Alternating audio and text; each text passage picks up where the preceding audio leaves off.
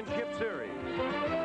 From Jack Murphy Stadium in San Diego, California, it's the Chicago Cubs and the San Diego Padres.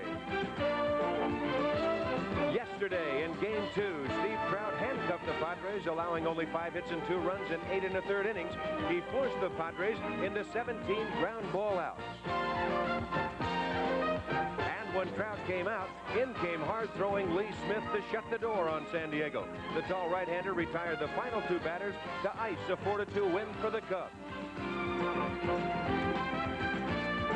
So, as the series moves west to San Diego for Game 3, the Cubs can finish things off tonight and move on to the World Series for the first time in 39 years.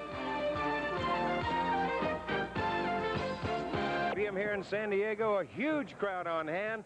They are still filing in, they say. With a full house tonight, it will set a new Major League record for Major League Baseball here in San Diego. And good evening, everyone, and welcome to Jack Murphy Stadium. I'm Don Drysdale, and happy that you've joined us tonight. Game three of the championship series in the National League. And if you've been following, everybody across the country knows what has to happen. Jimmy Frey in one clubhouse is looking for a win to go on back to Chicago and pick up a pennant for the Chicago Cubs the first time since 1945. Dick Williams has said it very flatly. We've got to win tonight to be able to come back and win Saturday. We've got to sweep the Cubs in three. But Working with me again is Earl Weaver and Reggie Jackson. And Earl, as you look at this trend as far as the first two games are concerned, there has been one as far as the Cubs are concerned, and the Padres also. Well, I believe there has. Uh, the Chicago Cubs have done what they wanted to do. Ryne Sandberg and Bob Dernier, the two men at the top of the order, have been on base 11 out of 18 times. Now, along with putting pressure on the defense with their speed, what this does is set the table for the hitters behind them. Three, four, five, six hitters in the Cub lineup have had people to get on. On the other hand, the San Diego Padres with Alan Wiggins and Tony Gwynn, they've only been on base three out of 17 times, so the RBI opportunities haven't been there. And as a result, the Padres haven't gotten the number of runs they needed. No, there's no question about that. As a matter of fact, they've scored only two, and that was yesterday. And Reggie, we've all been through this before. We've been down in the counts in postseason play. If you're a member of the San Diego Padres, what are you looking at right now? Well, right now, Donnie, you know that you've only scored two runs. The Cubs have scored 17 runs, and I'm pretty sure that the ball club knows that they've only hit 183, and the Cubs have hit almost twice that much. Someone on that, from that ball club has to go around and start slapping guys on the back. Maybe it should be a Steve Garvey or a Graig Nettles or a Rich Gossage or a Terry Kennedy, but someone has to step forward and lead this ball club back from almost no offense at all.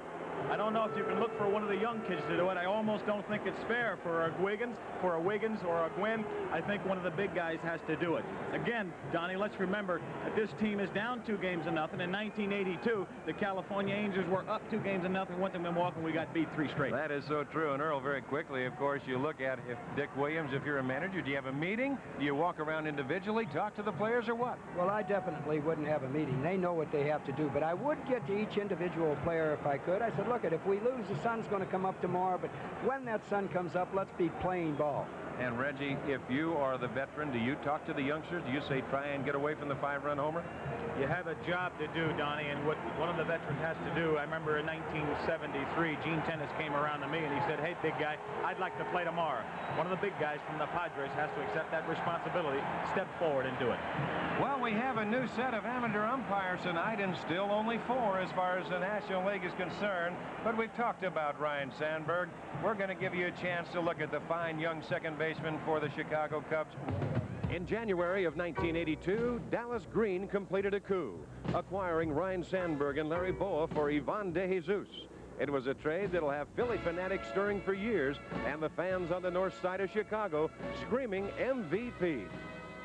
Well, I've been hearing about it a lot, and, uh, you know, I haven't really thought about it that much. Uh, you know, the thing that we wanted to do this year was win a pennant for, for the city of Chicago, and, you know, we did that. And, uh, you know, I was just thinking about uh, playing good ball for the for the Chicago Cubs uh, so that we could reach that goal. And, you know, once we did that, uh, then I was, I was real relaxed and real happy about it.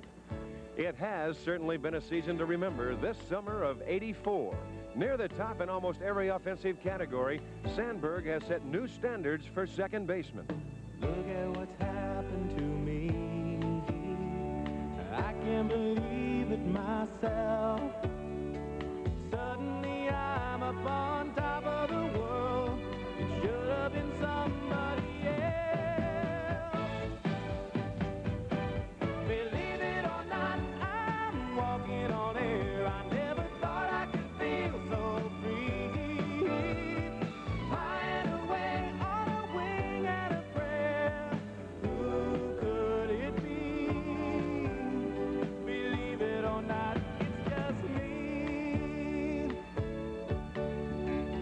In the winter, it's off to Tempe, Arizona, but the summers are now spent in a Chicago suburb. For the Sandbergs, it's been exciting, all this new success. But it hasn't been that easy, as his wife Cindy explains. We don't go anywhere. We tried his last off day to go shopping, and uh, we didn't make it to the first department store without him signing about 25 autographs. This was the first store, and within an hour and a half, we both decided, this isn't worth it, let's go home. You know, so it, it's got its, its drawbacks, but it, it's been a, a, an exciting and interesting year for us. If he does win the MVP, would he feel it's deserving? Tough question.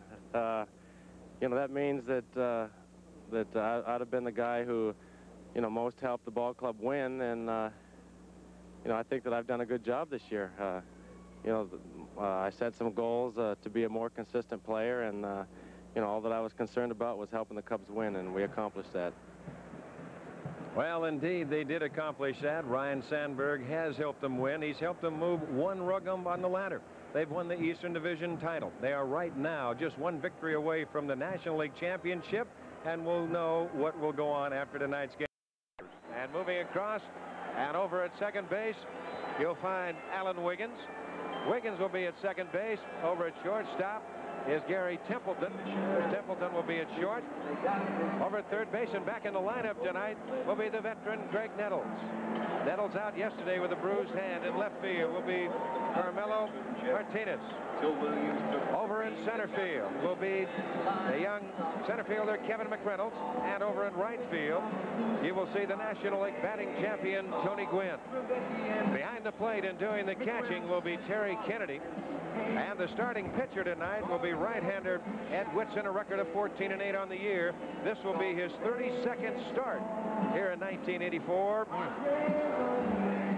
29 years of age, born in Johnson City, Tennessee, now makes his home in Columbus, Ohio. He's a 6'3", 195-pounder. The umpires for tonight's game, we mentioned a new set. Terry Bova behind the plate, Frank Campagna at first with Frank Fisher at second and John Stewart over at third. Still, the National League electing to go with only four.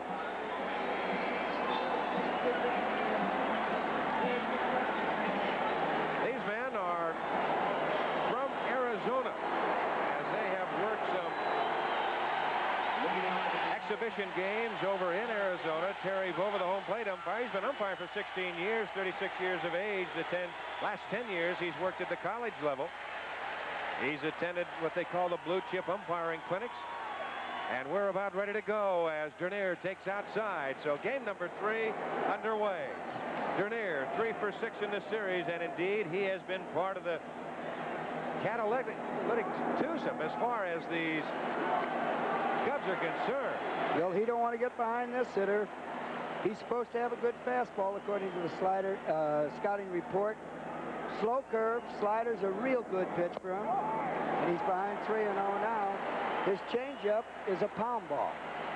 No one facing him before, Earl, he has a real good fastball. He has an outstanding Major League fastball. I would say 92, 93 miles an hour. And supposed to have good sinking action on it. There you can see that fastball tailing back over that outside corner. That's where Whitson's got to keep it if he's to be effective. He's got to keep it down and let, as you mentioned before, Earl and Reggie, let the sinking effect take effect as far as that is pitch is concerned.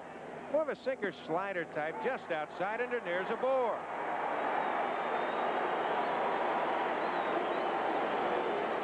Well, just add one to Dernier.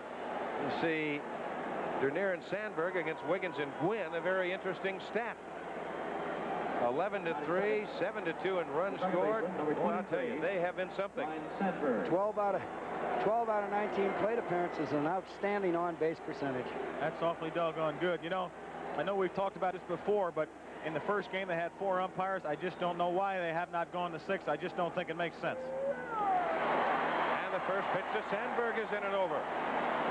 So Funny, I guess they're trying to talk, trying to keep a difference between the American League and the National League. They've got six umpires over there, and they've only got four here. Well, so what else is new? They've been doing that, Reggie, for years. It's not sometimes Major League Baseball. It's American League Baseball and National League Baseball when you get right down to it.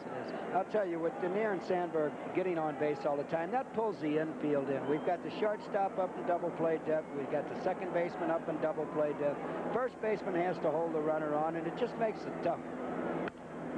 Right side, Wiggins will go to Templeton for one, and that's all they get. That ball not hit hard, hit off the end of the bat, but they get the lead man at second in Dernier, and that will bring on the Sarge, as they call him, Gary Matthews. Whitson will not waste any time. I've always maintained that's not a bad theory to have. You're either going to win in a hurry, lose in a hurry, get it and go, and keep the fielders on their toes. And especially if you're throwing strikes. That's Stay right. Stay in the groove. You know, I think as a player, you like to play behind a guy that works fast because you're always on your toes. You're always in the game. You have a tendency to work behind a guy, play behind a guy that does not work fast, work slow. You tend to relax a little bit, get back on your heels. Consequently, you make a bad play or two. So true. As Matthews stands in, he is two for seven in the series. Good change. 0-1 the count, and there you saw the first one of the evening by Whitson. Well, we saw the 10th man in Chicago. The Cub fans at Wrigley Field, and what a show they put on. And you have to take the tip of the cap to those fans. And here tonight, a sellout crowd at Jack Murphy Stadium. A good breaking pitch by Whitson. The Padres know there's no tomorrow if they don't come out on top tonight. An outstanding slider right there. You're, if the right-handed hitters are going to hit that pitch, they're going to have to go to right field with it. That's what we were talking about. I think, Reggie, you brought that up the other day. Those sinker ball pitchers, they like to see the man try and pull. You like to see the right-handers try and pull that pitch and check swing foul away. As Earl was mentioning, you're better off going the other way with a sinker slider type pitcher. You've got to go with the ball. If it's out over the plate, you've got to try to hit that ball to right field. Right now, I'm wondering whether the twilight is going to affect the hitters. Ed Whitson, although he does throw a sinker, he also throws very, very hard. And it just would uh, not surprise me at all to know that the hitters may be having trouble picking the ball up right now. Whoop, there goes Well, Sandberg. there's, there's a broken play. right there, home plate was umpire Terry Bovey called time. In a situation like that with a pro umpire, uh, Gary Matthews asked for timeout at the last minute. He didn't get out of the box until the umpire gave him that time, but Whitson was already Whitson was already on his way to home plate. We get to see it right here. Matthews asked for time. He got it. A lot of pro umpires wouldn't give you time in that situation because the play has always already started. And Sandberg was going, but not this time. That is fouled right side, backing out of play. You know, I've found in a situation like that, I'm one of the guys that does call time late when I'm in the box, Earl. And if you turn to the umpire and you're emphatic, you, so, you holler time yourself, then it does catch on. But if you lay back and don't say it loud, you will not get time, as you said. Matthews on the year hit 291, 14 home runs, 82 RBIs. Now he gets time again. I really don't think he should be giving him time that late, Reggie. Well, I didn't So- like that one right there. I did not like that one. Whitson is Oh, saying Whitson's, something. Whitson's upset. And so is Kennedy. Kennedy's turning around and saying, what is this? Who's running this? And here comes Dick Williams out. So Whitson, as we mentioned before, working fast, and right away the Cubs possibly with a little psychological thought here. I think that's part of the game plan. Here we get it again. He's looking over, he stepped out, he's on his way to home plate. I think he was late. I think he called time late. Another thing, you get Dick Williams, you get a little little fire going right here now. You get a chance for the crowd to get excited. So I'm sure that the Padres will use this to their advantage. And now I think Jim this will- Frey's out. I think this will help the Padres. All the man has to tell Jimmy Frey and Gary Matthews, I'll tell you if it's time or not, you're not going to tell me. And I think that's what Dick Williams wanted to find out. I think right now this is working in the Padres' favor. They haven't had any excitement at all. And right now they're just looking for something to get them going, to get some fire, anything to change the pace. Well, when the Padres were loosening up before the ball game, and the fans start cheering them, giving them a hand, the ball players themselves went around and encouraged the fans to make a little noise. Now Jimmy Frey has had his say. The count remains at a ball and two strikes to Matthews. Goes the runner up high, throw through, not in time. So Sandberg with a stolen base, and he had an excellent jump. Yep, the book, the scouting report, on, we get to see the jump right here, and we'll see how much he gets. But the scout, the uh, scouting report shows that while Whitson's got a good move to first base, he's slow getting the ball to home plate.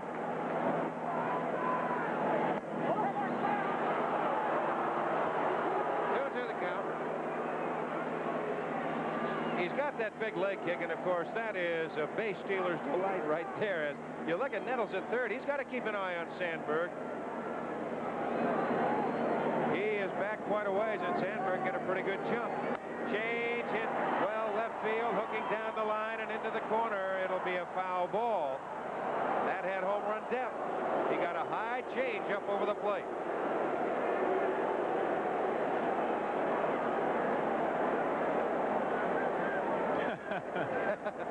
we understand Dennis Loon, our producer, has a report that Jimmy Frey was out there arguing that he shouldn't have called time, that it should have been a ball. He's Well, arguing against his own third hitter. A 2-2 pitch. On the corner, got him looking. Whoa! My goodness gracious.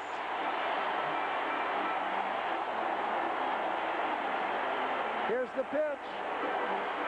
Get it from a good shot from center field. It's outside when it started, started and further outside when it went by the plate. Well, that's what we've said before. You've got to establish the strike zone. Well, that ball right there looked like it was outside and also might look like it'd been a little bit up. Uh, I think I, the only guy I could give credit on that one right there is uh, Gary Matthews for showing a little class and not turning around and arguing. Here's Leon Durham. There's two gone. Sandberg remaining at second base. A strike to Durham, who's run for nine the 279 on the year, 23 home runs, 96 RBIs.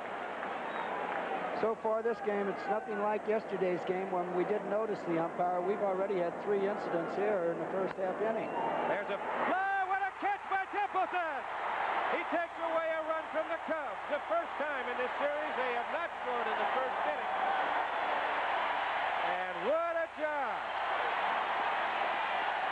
That ball hit hard by Durham. Look at it again, guys. Here's a great play. He gets a real good jump, follows the ball all the way. Great extension, and look at him stay with the baseball. That's the kind of play they need to get this play up, to get this team up. What a great play. And he hit the ball on the nose. The Cubs are gone. We go to the bottom half of the first, no score. Third in left field, Gary Matthews.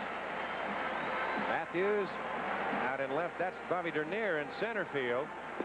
And moving across and over to right field. And he's not out there yet.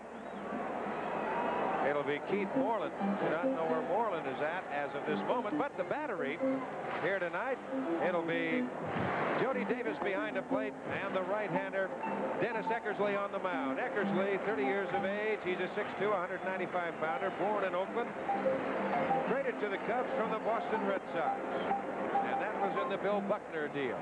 And yesterday was Dennis Eckersley's birthday. And today in St. Louis, Missouri, there's a fan glued to the set who's having her 81st birthday. And that's my mother. Happy birthday, Mom. You told me you were going to get that in. Yes, sir, and rightfully so. There's Moreland. Moreland was down in the bullpen, so he moves into right field. Your infield from the left side will be Cey and Bowa from the right side, Sandberg and Durham. And the outfield from left to right, Matthews, Dernier, and Moreland in the battery of Davis and Eckersley, as it'll be Alan Wiggins to lead it off. He'll be followed by Tony Gwynn and then Steve Garvey. Eckersley, a record of 10 and 8 for the Cubs, but they say he has pitched much, much better than that. Well, there's no secret he, what he throws. It's sinker slider, mostly down, but he works in and out. He's got a good changeup. 8 and 3 since the All-Star break. In his last eight starts, he has given up two earned runs or less. That's low, and the count 2 and 0. Dallas Green, again, one of his deals with the Boston Red Sox. Really had four more or less consecutive mediocre seasons with Boston. There's a strike and the count moves to two and one. It seemed like Don his last few years with the Boston Red Sox that he just lost his fastball. But for me, I would just say that Dennis Eckersley lost his confidence. He had a couple of bad years in a row, and he just he just had problems believing in himself. And a foul left side. The count will go even at two and two. Well, he's got a new lease on life, and he is just tickled to death to be in Chicago. I remember talking to him in the outfield over there a couple of times, and he was booed in 1983, and he just just didn't like it. Didn't sit well with him. This will be his first start ever against the Padres, so you would have to think that the early advantage would go to Eckersley. There's fly ball left center field. Bobby Dernier right there. That is one away. I tend to agree with you uh, on that, Donnie. You know, for me as a hitter, I don't like to face a guy that I don't know anything about. I would rather face a fellow that I've faced many times. That way I know what he's going to do to me. I know what to look for, whether he's going to work me fastball, curveball, inside or out. I think it should work to his advantage. Tony Gwynn. Well, with Eckersley on the mound, would you look in or out because he goes both places? Did you just try to think with him on every pitch? Uh, yes, I would, Earl. He tries to stay away from me. That's been his pattern. I faced him seven, eight years, and he tried to throw me a breaking ball in the dirt once in a while and stay away with a fastball. Tony Gwynn takes his strike. Well, you see, since the All-Star break, Eckersley right there with that 2.06 ERA. Hershiser followed by Rhoden, Thurmond, and Gooden. Line drive, right center field. That's a base hit and maybe more. Dernier moving over in a hurry. Gwynn on his way for two. The throw going to be close. Not a tie. I'll tell you, the way Bobby Dernier made it a close play, he did a heck of a job. He Just to made an it a close excellent play. play.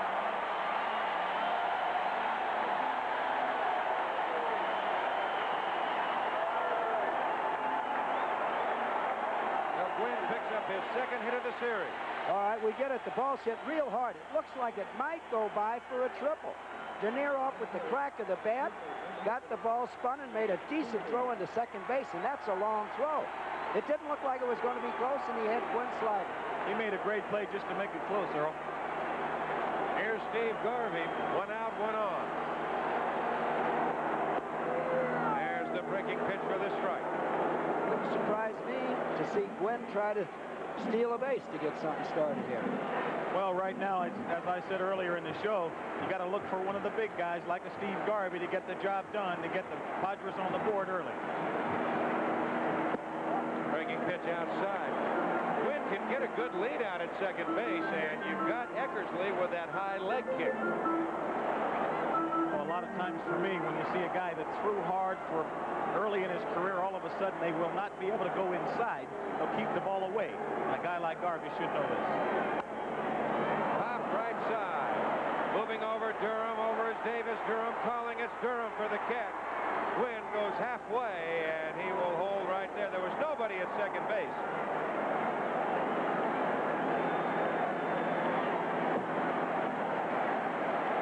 Batting fourth, So Garvey fouls to Durham, and that'll bring on Graig Nettles.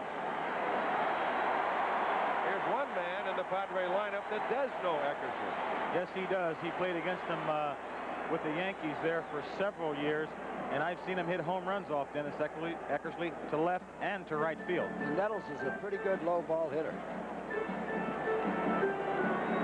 327 down both lines here at Jack Murphy Stadium. 370 to the power alleys. 405 to straightaway center field. They brought the fences in here in San Diego from the spot where they had them when the Padres first came into existence. 0-1 the count to Nettles. Be interesting to see to me how they pitch Graig Nettles. Usually when you get older, like a guy like myself, you're 38 years old, Graig Nettles 39, 40 years old. A lot of times they just try to pump fastballs by you, and uh, sometimes that doesn't work. And the change outside. One ball and one strike to count. The infield, they're deep to the right. The outfield the same. There you see the defensive alignment Cey, well, back end off the line. Over to his left is short. Sandberg out in the grass in right field. Bounce right side. Durham on the big hop. He'll go to the bag and do it himself. And the Padres are retired. No runs on a hit. They leave one, and after one, from San Diego, there's no. Donald. All right, Timmy. As Keith Moreland leads it off here in the second inning, takes a fastball high, the count 1 0. It'll be Moreland, Cey, and Davis. Keith is three for seven in the series with the RBI, as you see right there.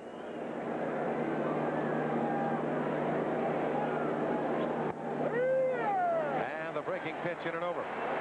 That outside part of the plate, and the count goes even at one and one. Well, I've been impressed with Whitson's change and with his uh, breaking ball that he's been able to keep on the outside half of the plate.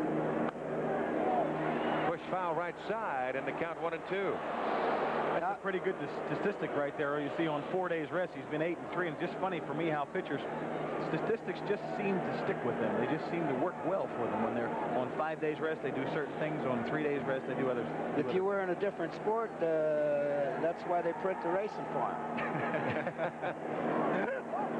Just outside, Whitson missing with a sinker, and the count one and uh, check that two and two. But that's one of the reasons that uh, exactly what you said why I used him so much when I was managing. Yeah, what the racing form? Not the racing form. There's a line drive by Nettles down the left field line. That's going to go for extra bases. Martinez chasing it in the corner, and Moreland goes to second base with a leadoff double. Now, right here, I'd like to say, Moreland, in the first two games, and I'm sure the scouting report says with two strikes, he goes to right field. Whitson tried to go inside with him. He got the bat out in front and hit it down the left field line, which is out of character. Well, a lot of times, Earl, uh, players that are smart, players that study scouting reports, I paid attention to scouting reports a, a great deal during playoffs and World Series times because you definitely can expect the kind of pitches that they say will get you out That's during exactly the playoffs right. and World Series. And I'm sure that Keith Moreland was probably looking for that pitch. There's the change up high to Cey, hitting 240. Two for six on the year.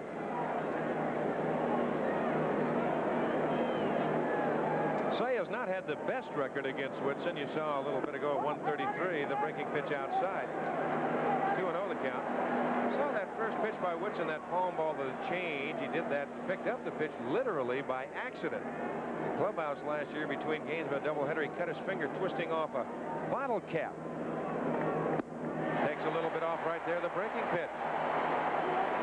And he couldn't couldn't grip the breaking ball. That game he went nine innings, held the ball between the thumb and the forefingers, and all of a sudden he comes up with a new pitch. Now I would not recommend that for everybody. Donnie, let me ask you this question. Being a big six foot six side armor like you were, I see Ed Whitson leaning over to the side against right-handers. I'm sure he's making it tough on him. Well, the biggest thing that what you can do right there, Reggie, I always did like Whitson is doing right there, worked off the right-hand side of the rubber. I threw a little bit across my body anyway, and then if you try and move that ball over to the outside corner and you have the control out there, it makes it just a little bit tougher if you can maintain that angle. Makes it tougher for the right-hander to hold Right-hand that hitter. shoulder in. Control's Right-hand the secret. There's a base hit into center field. Moreland without a lot of speed. They're going to wave him off. McReynolds throw to the plate. Not in time. Moreland scores. One to nothing Chicago. The center, the center of the Cub lineup has been doing what San Diego hasn't. They get the man on second base. Three, four, five, and six have been getting them in. Here we get to see it. It's a pitch that was supposed to get out just a little bit further than it did. Three quarters of the plate, and Cey got it. That ball is up and out over the plate, Earl. And there you see deposits in the center field. Well, a good throw, they throw him out. That was not a good throw at all. That No, it ball died out there. Well, sometimes when you come up with that ball out of the gloves, you get it cross seams. You don't have time to set it with the pitcher, and it looked like he charged it. He got everything he had behind it, but the ball tailed off on the way into home plate. It was not a good throw.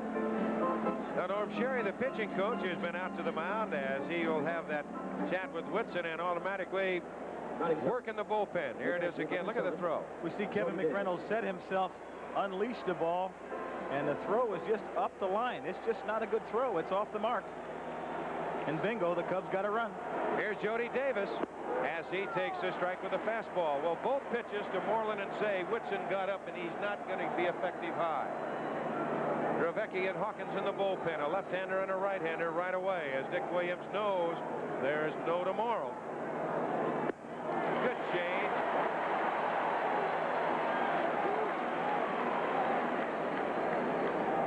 Two the count. There's talking Dick. to Bad situation to be to be in, but you can't mess around now. I was talking to Dick Williams before the game, and he felt it imperative that the Padres get a lead. They have not had a lead in the series. Outside the count, one and two. I got to believe if I'm Whitson and you have his type of stuff, you got to be staying down and away a lot more than what he's doing right now. Any success he's had tonight has been down and away. He got hurt right here in this inning. Both pitches were up.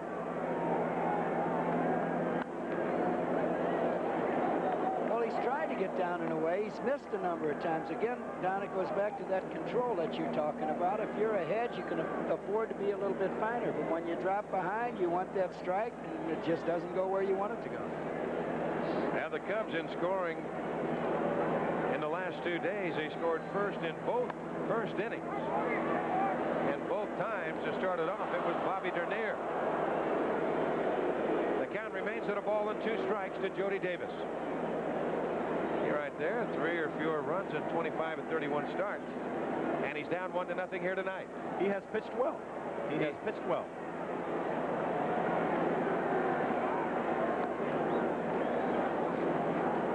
That's a token throw because Cey isn't going anywhere. Or at least I wouldn't think he is. Jimmy Frey down in that dugout. You see Dennis Eckersley grabbing a bat. Something a little new for Dennis over here in the National League. There's a bad change. Hook foul down in the corner. Out of play.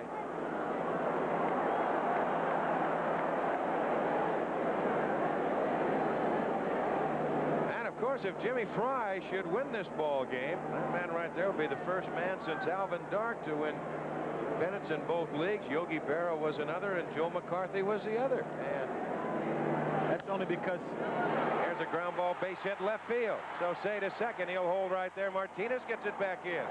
So Moreland, Cey, and Davis with the hits. And the Cubs threaten again.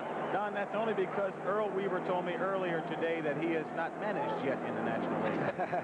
That's right. And here we get it in super slow motion. Again, you can see him trying to go to the outside half of that plate. We can see it real well there. The ball center of the plate out, but not on the outside corner. And it's driven in the hole into left field. You know, one thing I wanted to say about Jim Frey, you know, we're talking about him winning a pennant in an American League and National League. He'll be the only man in baseball history ever to do it his first year in the league, managing in the league. That is something, too, as Larry Bowa stands in. That foul, backing out of play. Now, here's a big man for Whitson because you've got Bowa, followed by Eckersley, and then the leadoff hitter. You almost want to go into Dernier at least with two outs. Bowa switch hitter, and hitting from the left side. Indeed, they do.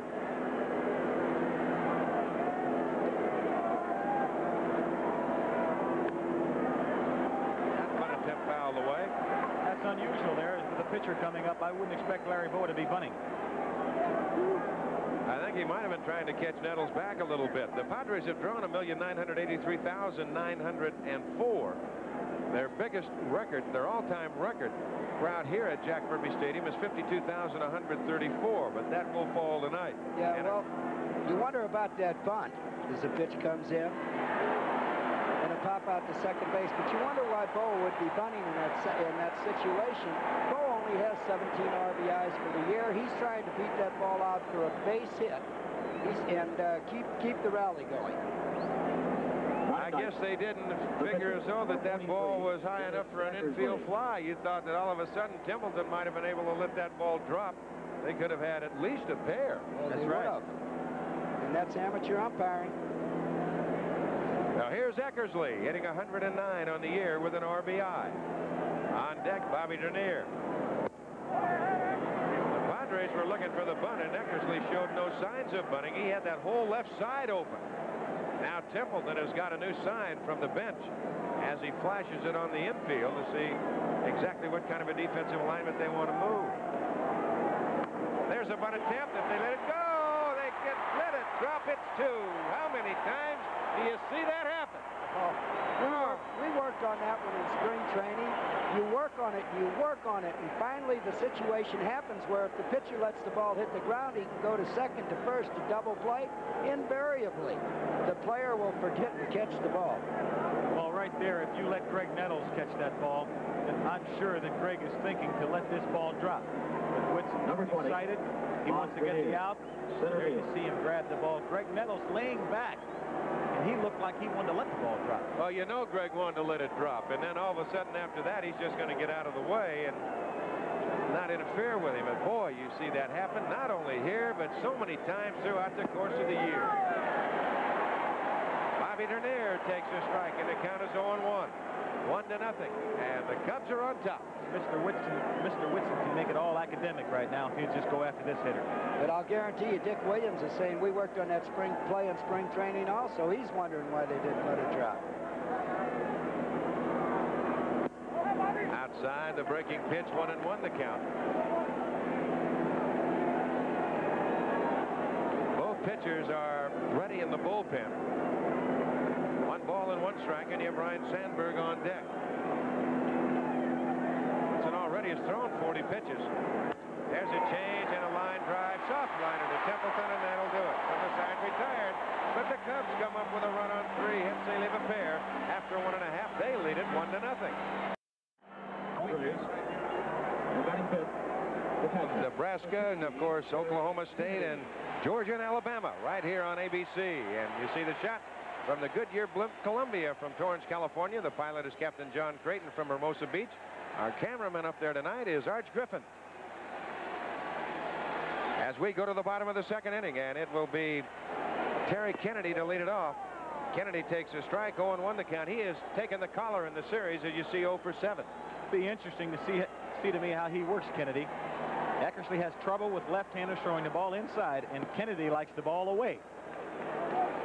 Kennedy yesterday in that final out of the ball game with Lee Smith. Of course, Smith can supply a lot of power himself. There he just reached out. There's another change out there. One and two the count and just kind of laid the bat on the ball and took Cotto right to the wall. You think what if he'd have turned it loose a little bit? What might have happened? The Reds, the first three pitches were outside. Out of play and the count remains at a ball and two strikes. And he might have tried to go in there, but it was more center of the plate. Exactly. Boy, they're right there. He's got to get that bat going if they're going to do anything. Seven of his last 11 starts.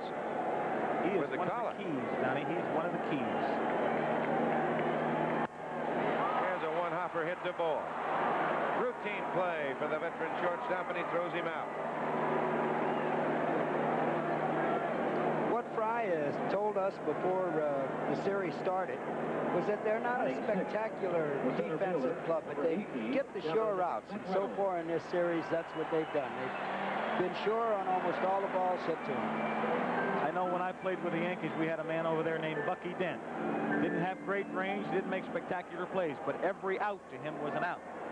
Here's Kevin McReynolds, and he hits it off the end of the bat to the right side. There's Sandberg, and there's two gone. That's what I always feel defensively is the important thing. Make your outs, outs. Don't give teams four outs in an inning or five outs in an inning. Exactly. You can't give major league clubs that many outs without getting hurt. Spectacular play is neat to look at, but just let my outs be outs. And if you don't do that, you get to the big part of that lineup Number too 14, often. Carmelo. Martinez. Here's Carmelo Martinez.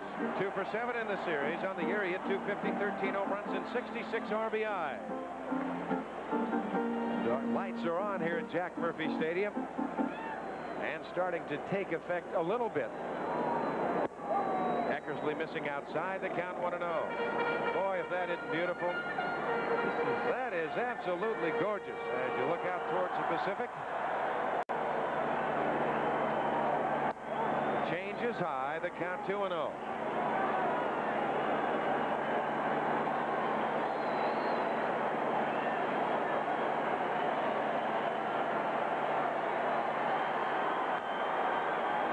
That's out of play. Well, the roar in the background as the San Diego Chicken has come out to try Is that the. San Diego chicken, or is that the man that knows he's got tickets in the front row? That's it. Is that Euchre? I don't know. Of course, I've seen him like that a few times.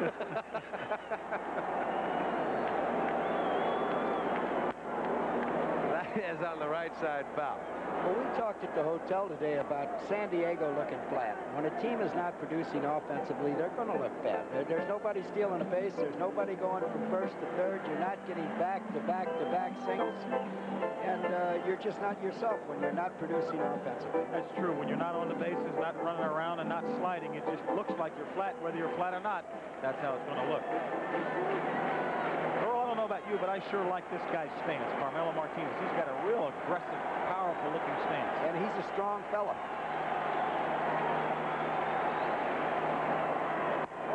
Inside, the count goes full at three and two, and on deck, Gary Templeton. Steve Davis trying to work a little bit and yank that back in. That's hit to left field, down the line, moving back is Matthews, still to the wall, still to the wall. He's there to make the catch. Where was that one in Wrigley? Gone, maybe. The wind's blowing out, so we're through two, one to nothing, Chicago. All right, Timmy, thank you very much. And the count 0 2 to the leadoff hitter Ryne Sandberg. Bill Giles was an honest man when he said, when he said he wished he would have made a couple of those trades, but they had their year last year. They won the National League pennant. Well, we're going to have to check on that last deal to see which it was with the Phillies and the Cubs.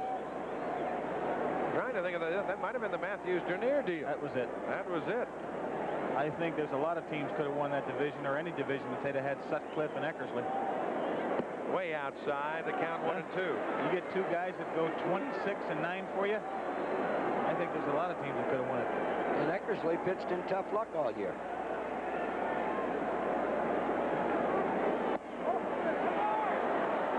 Two balls and two strikes to count. And this is one of the former Phillies right here. Young man who's having himself quite a year, does not get the breaking pitch, and is down on strikes. Breaking ball 3-2 with a little bit off of it. That's the way you win ball games. Number 35. As we get a look at the pitch again, as Big Ed Whitson comes around over the top this time, you can see the rotation of that baseball. Almost looks like the bottom falls out of that ball as he swings and misses. Here's Gary Matthews. Sends it high, right side foul. Garvey moving over right to the box seat railing and fighting the tarp. Can't get it. You know, there's been a lot of trades really over the years. You take people like Frank Robinson, and, when I left the Yankees, the first year I was in uh, Anaheim, I had 39 home runs. But I think it's over the long haul that people like that make trades, and to go on and blast a guy. Remember when they traded, traded Jack Sanford a long time ago over to the San Francisco Giants from the Phillies? He had a great year as well, on over 20 ball games. Sometimes an organization is just strong in one position, there's not much you can do about it. You can only option them back four times. He got away with a high fastball right there. This is not the first time it'll happen to an organization, and it won't be the last. Look at all the people that Baltimore got in 1976 from the Yankees. Yes, they still got starters from that play. And yet, it helped the Yankees uh, win the division uh, that particular year that the trade was made. Just outside. Maybe a little high. One and two the count. Getting back to that trade, it's Tippy Martinez, Rick Dempsey, Scott and Scott McGregor. McGregor. And you've forgotten who went over to the Yankees, uh, but they helped them win in 1976. Out of play, right side. The count remains at a ball and two strikes. There's one out. We're in the top of the third, and the Cubs on top, one to nothing. Boy, you talk about irony. As far as Chicago is concerned, they've won 98 games this year, including the two postseason games. The last Cubs team to win more, or to win more than 98 games in one season, were the 1945 Cubs. They won 98 regular season games and three in the World Series. First, they came up one short to the Tigers. High, three and two. Are you trying to say that this is the year of the Cubs? Boy, I'll tell you, they have had so many things going their way, and you just got to take your cap off to them. They really have had a great year. Watch him. Had him 0-2 and loses him. Last two hitters, three and two. Got one, lost the other one. You never know. You never know. You never, it's never over until it's over. Remember in 1982, over over there in Milwaukee. Yes, I do. The Angels leading three to two, leading two games to nothing. We go in there, and again in the seventh or eighth inning, we were still leading that ball game. Had a chance to go to the World Series. It was taken right out, just snapped right out of the cupboard. Leon Durham. Cecil Cooper with a base hit, and all of a sudden we go home. Well, you saw that. Only three walks in the last six starts. And, of course, he's walked two already here tonight as Leon Durham stands in high. Shallow center. McReynolds. Lots of room. Two gone. Leon Durham, one of the very good low ball hitters in baseball, just popped up that high fastball, let her high. You know, the thing about Leon Durham, he's a little bit aggressive right now, maybe a little bit too aggressive, as we see the pitch from Ed Whitson. He goes after a ball that's really not his pitch. That ball is up and out of the strike zone. A low ball hitter. A Right little bit too excited right now, I think, maybe, Oh, Earl. yes, they get anxious. Here's Keith Moreland. He led off the second inning with a double. Eventually scored on the base hit by Ron Cey. Cey driving in his third RBI of the championship series. And that's where we stand, one to nothing Chicago. The breaking pitch down and away. Boy, I'll tell you, that is absolutely beautiful. Just beautiful. Gary Matthews gave, gave indications that he might be running.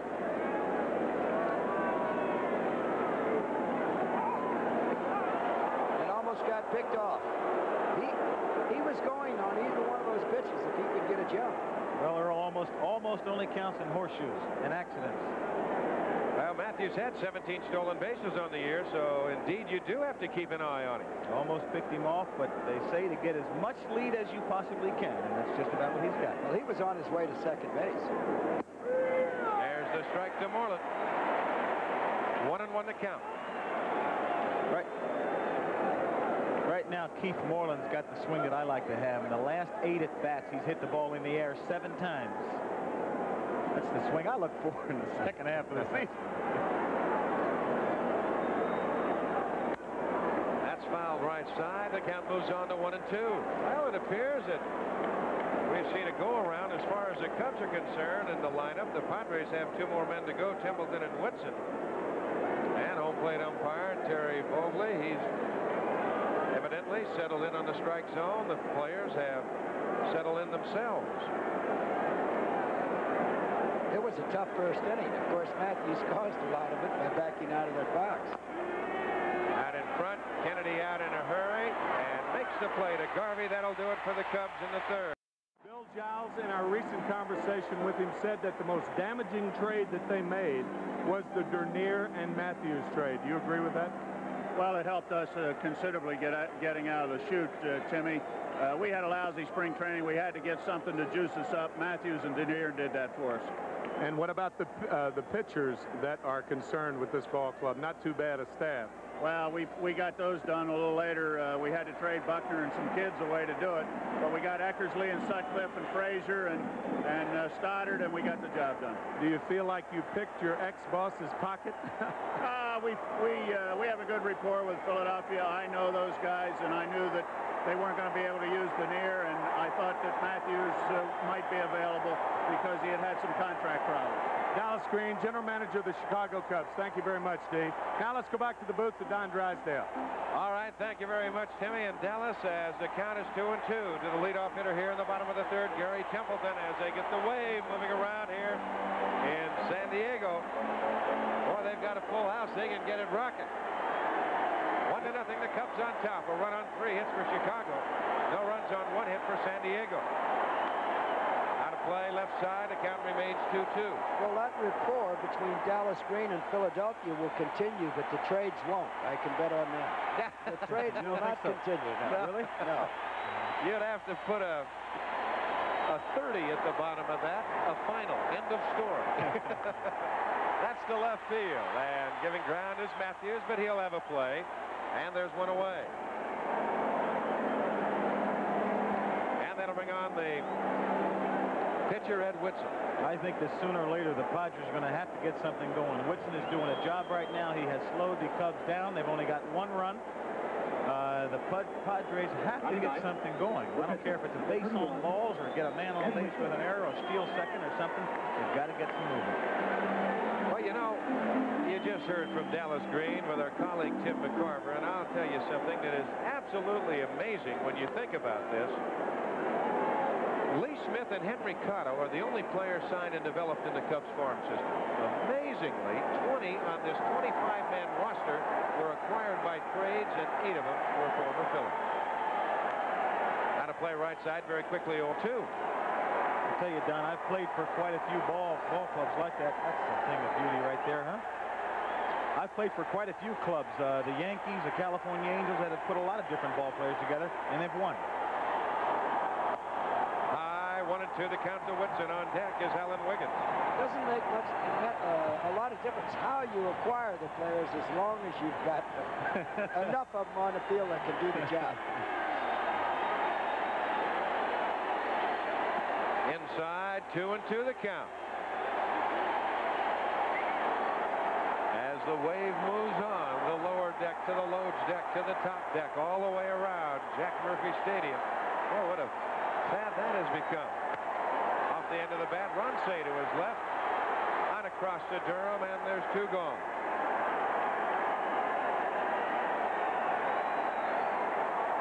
In the meantime, the Cubs are on top one to nothing. The fans feel like you do, Reggie. They got to get something going. Exactly. They They've got to get get some going in a hurry, and maybe that's one of the reasons for the wave. I don't know. You know, sometimes I think this year when I've been hitting and been at the plate, I've wondered about the wave. It kind of distracted me, to be very honest with you. You like to see the fans get involved, and you certainly do want them to help you because you, I do believe that they can. But I think it distracted me once or twice. I'm not big on it when I'm hitting. Here's Wiggins as he checks the bunt, takes low. I've often wondered about that because I've had something similar to that as before the wave ever came in. But about the pitcher standing back there, and all of a sudden when you throw and release about the time they come up from behind home plate trying to pick that ball up, a bunt. And I That's don't know what if they they will need. get it. That's They won't they get need. anybody. That's exactly what they need. Boy, that was perfectly executed. Once it got by Eckersley and Durham had to make the play, no chance. What a perfect bunt. We see it high here from the third base side. Put in a perfect spot. There's nobody that can get to first base quicker than Alan Wiggins can now, once he got that ball down where he did. You know, Dick Williams made a big point before the ball game. I almost thought it was unfair of him to say it, but he felt that Gwynn and Wiggins had to get on base. Well, They've got some Wiggins excitement there. now. They've got Wiggins there, and he'll be standing on second as quickly as he possibly can because he's going to try to run. Well, watch the high leg kick of Eckersley and see if he tries to counter in any way.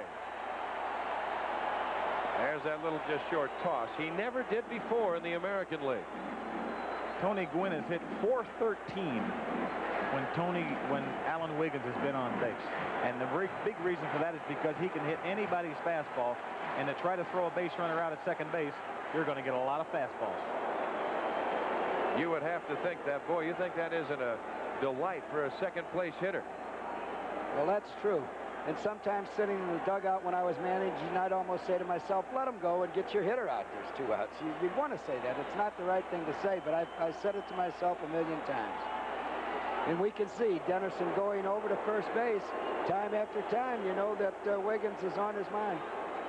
Well, Wiggins at first, and here's what Alan Wiggins had to say about running on Dennis Eckersley. Uh, from what I understand, Eckersley comes from the side, so he's got to get a little action on his uh, motion. So uh, he's going to be uh, a little easier than Sutcliffe to run on. Again, and Eckersley certainly aware of that. Yes, that's why you see so many throws over there to first base. He knows he doesn't have a great move. He knows he has the high leg kick to be effective. Um, so he's going to try to keep Alan Wiggins over there as close as he possibly can.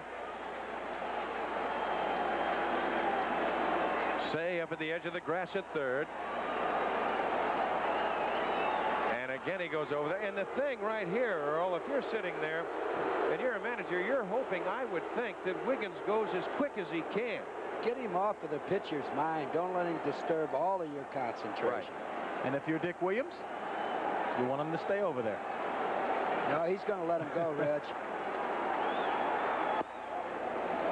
see Gwynn thinking he might go too. I think it'll take a little load off of Gwynn's shoulders when you get a man over there like that. Well, well Wiggins is going to go when he gets the jump. He's going to go when he, he feels like he can make it and not until then. Want to know what makes ba baseball great, that's for sure, Donnie.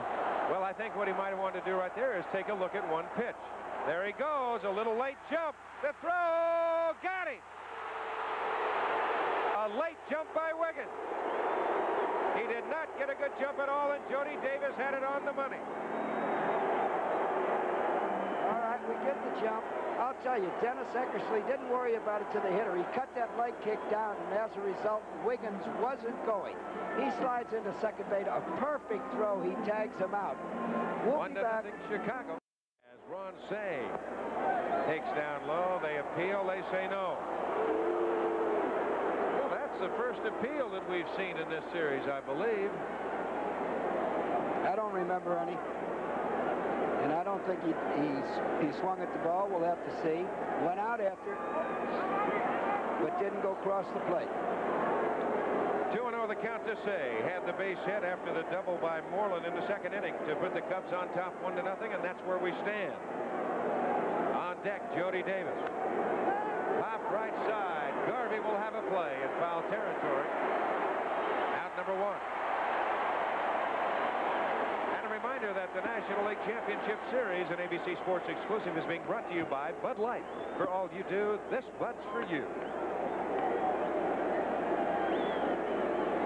One away to Jody Davis, single in the hole between third and short, his first time at bat. The catcher, Jody Davis. The Cubs with three hits and the Padres with two. Davis having a good series, and I, as far as I can remember, that was the first man thrown out stealing in the series. Have not been a lot of attempts, really. Say he has really improved in his throwing and his all-around defense. He's digging more balls out of the dirt. And they just feel on the Cubs that he's a lot more relaxed. That Johnny Oates has helped him considerably. He just threw that ball by him. 0 2 the count. Oates has spent hours and hours studying videotape isolation plays of Davis in his throwing, and it's helped. There's no question about that. Foul right side, 0 2 the count. Every game they'll go over the hitters. Oates, Davis, and that day's starter. And they've gotten the job done, I'll say that for them. Johnny Oates is an intelligent man. He came through the Baltimore Oriole organization as a minor leaguer. A great person. Good breaking pitch, and Davis is gone. Got, got that big side arm motion right now. Big step out to the side. He's really throwing the ball well, and it's working real good for him. Well, that'll be coming your way this Saturday on ABC. You'll see either the Cornhuskers of Nebraska and the Oklahoma State Cowboys have a 4-0 record, or the battle of the SEC rivals Georgia and Alabama. And, of course, a week from Saturday, the number one ranked Texas Longhorns battle the number three Oklahoma Sooners. Right here on ABC at 3.30 Eastern Time. Says he'll take it. And Templeton moves alongside. He makes the catch, and Bowa retired. The Cubs are going into fourth. No runs, no hits. There's another one from our Goodyear blimp. A full house right here at Jack Murphy Stadium in San Diego. A beautiful complex. The Cubs on top one to nothing, and we're in the bottom of the fourth inning. And it'll be Tony Gwynn who is at bat when Wiggins was cut down trying to steal to end the third. Gwynn, Garvey, and Nettle.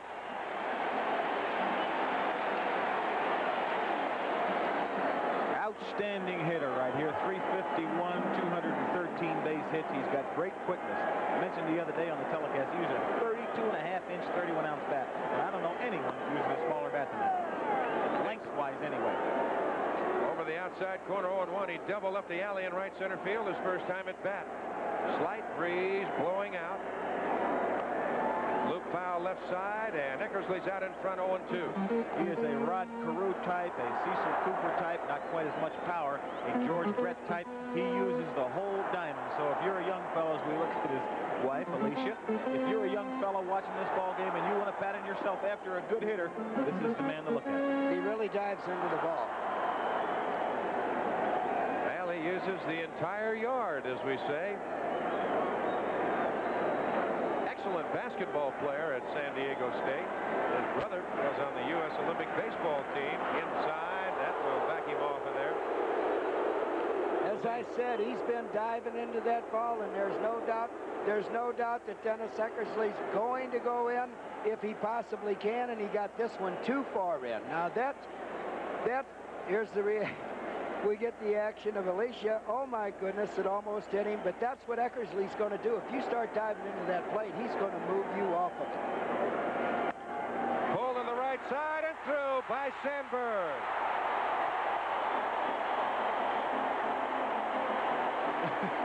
yeah, that'll, that'll bring a di different reaction from Alicia, I'm sure. There it is. You know, that pitch right there, he tried to get that ball inside the same way he threw the other pitch.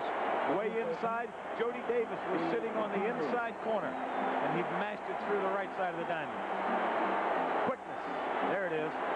Mashes that ball right by Ryne Sandberg. Well, that ball just picked up speed going through there. he has something to clap about now as Steve Garvey stands in. He fouled the first. 0 for 1. 1 to nothing. Cubs on top. Win with good speed also. He has 33 stolen bases on the year.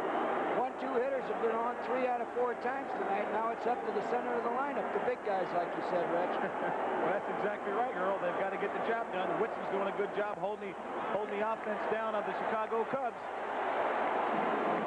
The offense of the Padres has got to put some numbers on the board. And it was Jimmy Frey who might have been thinking, well, they're not doing it with the bats. They're not moving people around that way. Maybe Dick Williams will try and move the runner with a hit and run situation. Garvey goes that way well, and Jody Davis pitching out. 1 0 the count. And it's 2 0. Another trend throughout the first two, uh, two ball games was when San Diego did get something started. They hit the ball hard, but it was hit right at somebody for a double play. 2 0 the count. On deck, Graig Nettles. This is a great spot to hit in. Two balls and no strikes. I'm sure that Steve Garvey, Steve Garvey, Steve Garvey, get it out of here. I'm sure that Steve Garvey's looking for a fastball to work with. And I wouldn't want my runner to run on this pitch. Let Garvey get his pitch and let him swing as hard as he wants to. The 2-0 pitch to Garvey. Off the end of the bat, could be two. Bowa to Sandberg for one, and they turn it over, the double play. So they went to the 2-0 breaking pitch, and Garvey hit it off the end of the bat. It's amazing how many good pitches the Cub, uh, the Cub pitchers have made when they're behind. He hit the ball hard, but here again, it didn't find a hole right at Bowa. I don't think he really hit this ball hard, Earl. Graig Nettles. Well, it was hit hard enough so that Garvey's not even in the picture yet. Sure. Now, very quickly, two gone as that settles the crowd down just a little bit. And it'll bring on Graig Nettles. High to right center. Nobody sees it. Dernier didn't see it. Moreland didn't see it. Now Dernier sees it and makes a catch. Both of them stood there with their arms out. They could not see it. So the Padres are gone in the fourth, and we're through four. One to nothing Chicago. Fly ball that Graig Nettles hit the center field, you see Moreland. He can't see the ball. Now we go back to Dernier. He can't see it. He then finally keeps his eye on it, gets the bead, and he picks up the baseball and gets the out. I'll tell you, it's about a quarter to seven out here now in California. It's twilight, and it's a little tough to see when you're an outfielder. This is the toughest time to play in when the ball goes up in the air. You can see the twilight. It'll be dark in 10 or 50, uh, well, even less than that. We'll say five minutes, and the ball won't be quite as hard to see for the outfielders. And very quickly, it is 0-2 to Dennis Eckersley. On deck, the leadoff hitter, Bobby Dernier, and then Ryne Sandberg. As Eckersley is down on strike. Number four for Whitson. We go to the top of the order in Dernier. I don't care if that was a pitcher or not. There were three pretty good pitches. There's a, there's a tough spot looking out west out there, Reggie. Just right now, that ball is just about the same color as the sky. Yep. And that's what makes it so tough to pick up. I know one of the reasons that I used a black bat. Willie Randolph told me that at night, and especially in twilight, it's tough to see the ball come off the bat. I thought it gave me an advantage. That's why Reggie Jackson uses a black bat. I'll be darned. That's the first time I ever heard that. Yeah. Willie Randolph, ask any of your infielders. Willie Randolph, when I was with the Yankees, told me it's tough to pick the ball up off a black bat. Dernier to the right side. There's Wiggins. On to Garvey, two gone. I always thought it made sense. It's a little tough to see that black bat coming through there at nighttime. The second baseman, Ryne Sandberg. Well, there you see the players that have been acquired from the Philadelphia Phillies. Bowa, Dernier, Matthews, Moreland, Ruthven, and Sandberg. And you've got everybody in the lineup tonight except Ruthven. He's a pitcher. Five of them. Ryne Sandberg, 0 for 2 tonight. On a fielder's choice, he's stolen a base and he struck out. That change, Whitson has made a couple of mistakes inside. Continued to be impressed with the way he's pitched tonight, though. I agree He with you, Earl. He Both is doing his part, Donnie. Both pitchers have they've been pitching well as Sandberg takes the strike. One and one the count. Yeah, they have praised this man, Ryne Sandberg, all year long. I have only had a chance to see him on television, but he sure has shown me an awful lot. Oh, he he's- can run, he can throw, he can hit for power, and he can field. He can do everything. Funny thing about that Philadelphia trade, Sandberg was really not that well known. Dallas Green knew him. They wanted Aguayo, but they were rejected. That's the center field. McReynolds is there, and that will do it. No runs, no hits, no errors, nobody left, and we're through four and a half at the halfway point. The Cubs on top, one to nothing. We go to the bottom of the fifth inning. Kennedy to lead it off, takes down and away. Want to know the count. Bounced to short his first time at bat.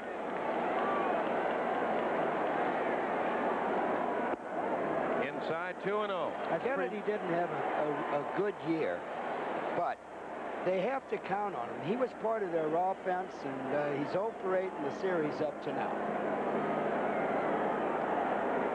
Well, if he's going to do anything, Earl, I think he's got to do it against Eckersley here because he's pitching him right where he wants the baseball. There's the ball inside. A base hit to the hole, right side. That's So one of the first balls he's pulled to right field. He's been hitting the ball to left field. Dennis Eckersley changed his pattern, and it says on the scouting report this Eckersley does not have success throwing the ball inside the left-hand hitter.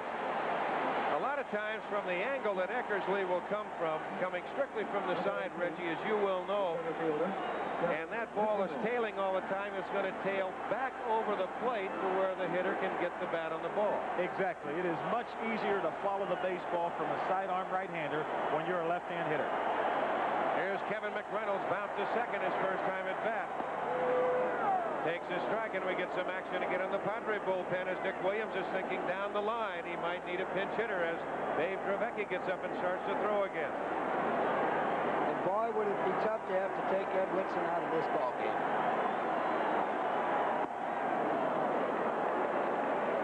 This young man right here, as you look at Dravecky in the bullpen, 0 for 5 on the series.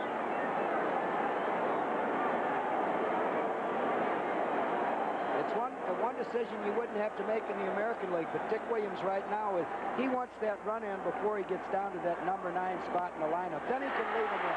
Right through the wickets as Kennedy goes to second. He'll stop right there.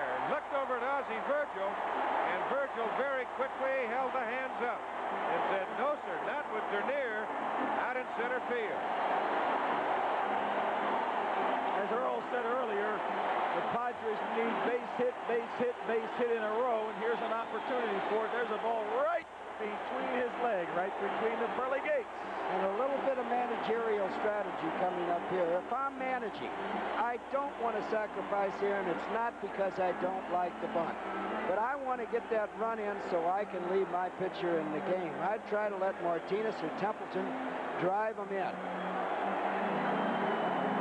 Bo is going through the signs to Sandberg, Cey, and his infielders, letting them know what defensive play that they want to use in case of a bunt. Almost all clubs now have three different things they'll do.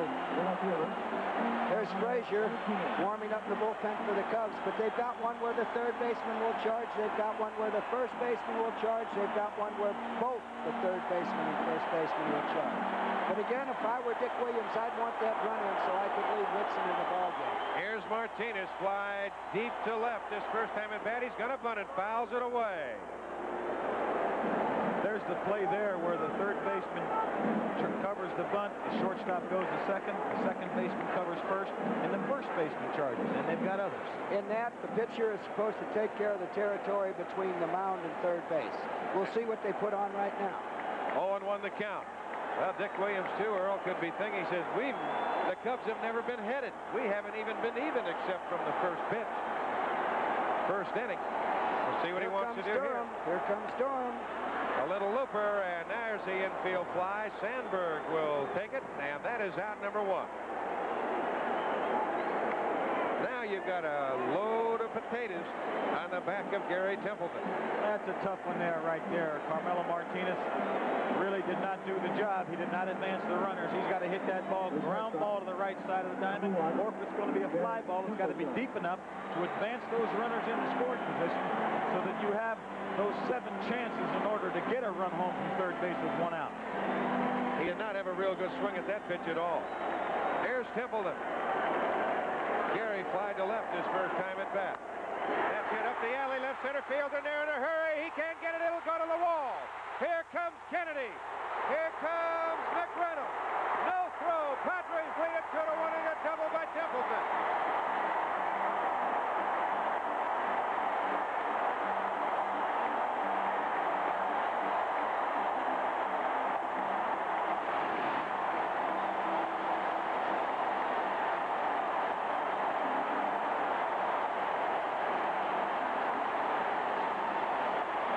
what they've needed. This is what they're looking for. And as does not get the ball inside, the ball tails back over the plate, and Templeton's got a big double, and the San Diego Projects have two runs in, and now Dick Williams gets the chance to leave Ed Whitson in the ballgame. Well, that's what I'd have been shooting for all along. I'll tell you, if he'd have run him over, they might have walked Templeton. And Templeton's a fellow who had 200 hits in the major leagues one year, 100 right-handed, 100 left-handed. Not this year, but one year in the major league. Boy, that is so true, Earl, because Jimmy Frey very easily, and I'm sure you've done it before when they have the pitchers hitting in the American League and things like that in your managerial career, you'll make the opposing manager make a move. Either stay or make a move. I would definitely would have wanted Whitson out of the ball game the way he's throwing the ball. Whitson stays in the ball game. He bounced to third his first time at bat, 0 for 1. Templeton at second base. Good speed. La Looper, and right there is Sandberg. So when you go back and check your fingernails right there. that one had to hurt. You ever do that? Oh, yes, I've done it. I've done it a lot of times. I remember one day I was playing against the Chicago White Sox, and I hit a fly ball to the pitcher. Well, the Padres on top 2 to 1, and I mentioned before, they have never headed the Cubs except from the opening pitch, and now the first time that they have taken a lead. What Dick Williams thought was so important to get ahead. Then they get a chance to use their most important weapon. Speed. Speed and gossage. Speed and gossage. well, there's speed and gossage. There sure is. 100 miles an hour. Wiggins. A bunt single his last time at bat. Now Alan will just back out and just collect himself a little bit. This crowd has come alive. Two runs, six hits, no errors for the Padres. A run on three hits, no errors for the Cubs.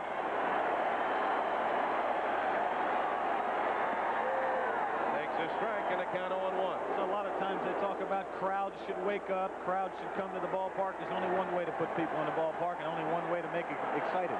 You got to win to put people in the park, and you got to do something to make them excited. That's exactly right. And this is the first time in the series that San Diego has gotten three hits in one inning.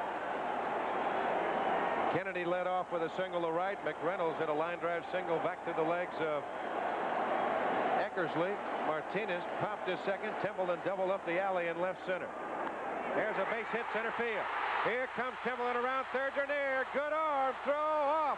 Cut off by Durham. Back to Sandberg. They get him, but the run score. And it's 3 to 1 San Diego. Notice the important thing right there. You saw Gary Templeton continuing to run home because if he does not cross home plate before they tag the runner out at second base, he does not score. Here's the pitch. Smacked into center field, a line drive. Dernier charges hard, comes up throwing, makes a good quick throw. It's offline.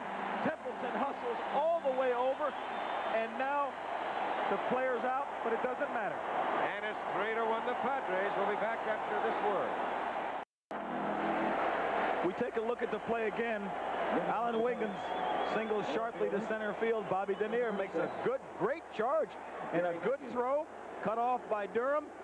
The important thing there, Gary Templeton kept running to make sure that he crossed that plate. Before Bobby Dernier was ta- before Alan Wiggins was tagged out. Exactly, and right there, Gary Matthews jumped on the first pitch and lines it to left, and the Cubs are trying to fight their way back. Three to one, the Padres on top. And It- something else about the last play of the last half inning. The Cubs got themselves out of that inning without having to get a man out at home plate. They took the sure out at second base. Here's Leon Durham, and you get action in the bullpen for the Padres. There's a strike, and the count is 0-1. So the leadoff single by Matthews. Durham is 0 for 2. His line is short, and he slide to center. Durham so far has not been patient in this series. He's been swinging at balls that just aren't his, Ooh, in his zone. That one was. that one was, and he hooked it foul. Boy, he's got a big hole to shoot through on that right side. He's been pulling that ball a lot to the right side. Hit a few balls, about three or four, five to the opposite field. Kennedy didn't like that pitch by Whitson. He walked out in front of home plate. I think he's telling him to get that ball on the outside half of the plate. 0-2 the count. Should be two. Wiggins to Templeton for one, and they double him up.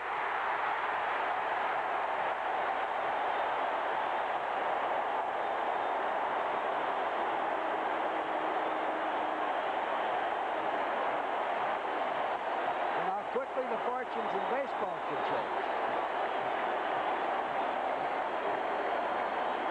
Now there's two Templeton has come to play, Donnie. He has come to play today. He's got fire in his eyes. Well, I'll tell you, he got Matthews down in a hurry at second base, and with his arm, you don't want to stand there and challenge that little white pill. There's Keith Moreland. He has put the Cubs on the board. A leadoff double in the second inning, scored on a single by Cey. That's when the Cubs bunched three of their base hit, the double by Moreland, a single by Cey, and a single by Davis. There's a strike, and the count is 0-1.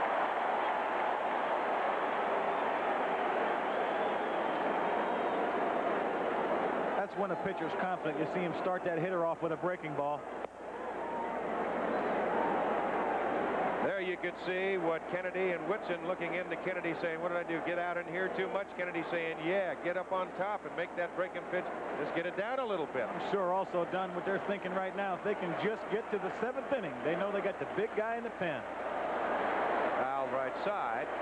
You know, when I played against Gossage, Gossage, when you had a guy like Gossage on your team, when you had a guy like Rollie Fingers on your team, you knew that when you went out on the field in the seventh inning with a lead, you knew whether you played against him or whether you had him on your team, that you were going to win that ball game. And there he is, standing in the bullpen waiting for his chance.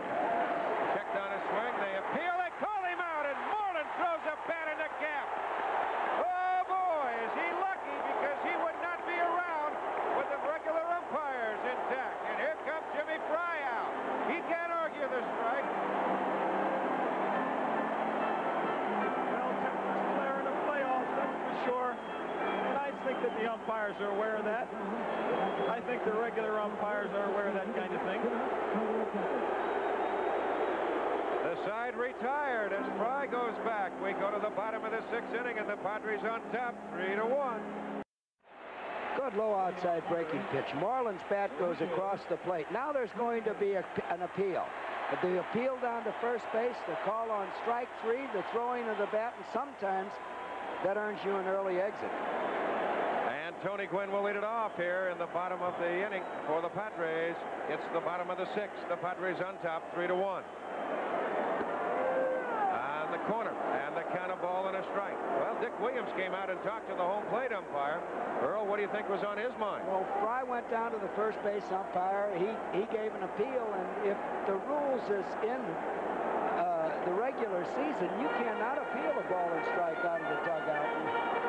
And I think Dick Williams wanted Frey ejected from the ball game. Very much so, and it very easily. He's talking to Ed Vargo over there now. There's Eddie Vargo, one of the National League supervisors, and they're going to might make an appeal right here. Williams is after Vargo. There's a base hit left field. Well, I'll tell you, you knew it wasn't going to last for long. Anybody that's hitting 350, 351, this man came into the ball game with one base hit.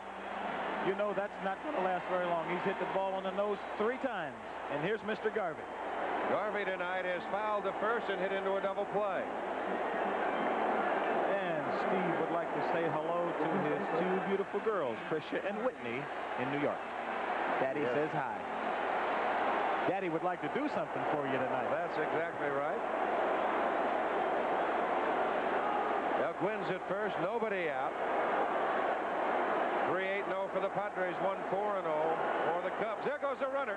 Bouncer right side, Sandberg over. Now they go back to first, and they make the play. If Gwynn keeps going, he might go all the way to third.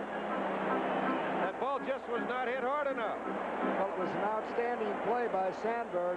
He was on his way to cover second base when Gwynn took off. Sandberg had to get... Sandberg, what you'll see, is on his way to cover second base. The hole's wide open. He recovers. He comes back.